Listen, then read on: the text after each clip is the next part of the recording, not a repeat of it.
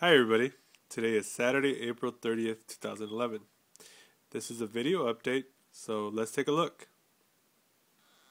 As you guys can see, we have two babies. Uh, one baby was born on Sunday of last week, uh, the next baby was born on Wednesday of this week. She laid a total of five eggs, but only two hatched. I haven't done a video update just because I didn't want to bother the hen.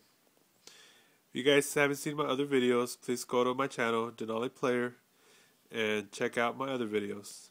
If you guys have any questions, comments, please let me know. If you haven't subscribed to my channel, please subscribe as I will be doing a video update every week so you guys can see how fast they grow.